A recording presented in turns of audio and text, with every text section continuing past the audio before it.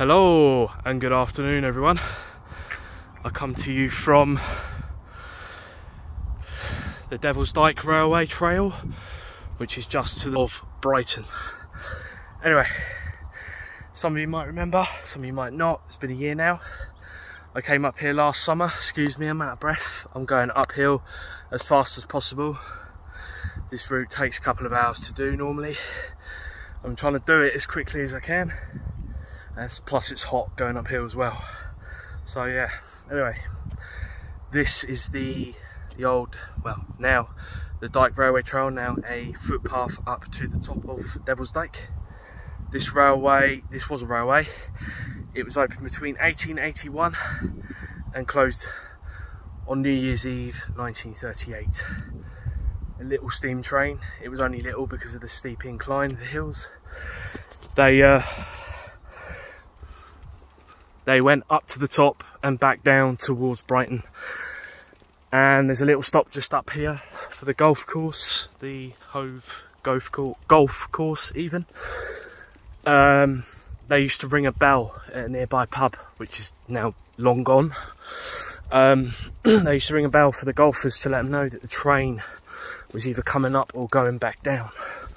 So they'd let the golfers know that the train was coming. Anyway, this line used to take people up to what was a massive theme park on top of the excuse me a moment Sorry, I had to let the cyclist go past. So yeah, this line was used to go up to the top where there was a massive amusement park back in the Victorian times.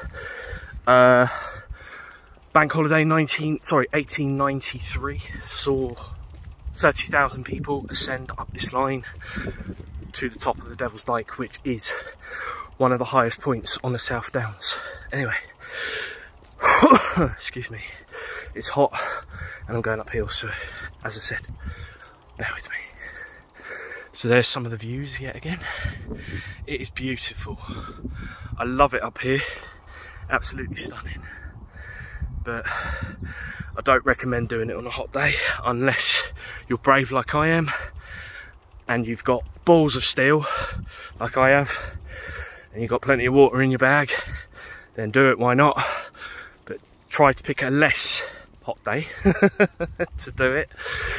So yeah, I'm about two and a half miles into a four mile walk up to the top. Walk slash cycle, probably more walking to be fair, because it's a steep incline. And then I'm just gonna cycle the way down and go and annoy my uncle who lives in Portslade nearby anyway. I shall give you a shout when I get up to the top. The views up there are stunning, as you might know from my previous visit, not so long ago, when I brought my little brother up. And I'll get some pictures and video up there for you. Anyway, I'm off. Take care now. Bye.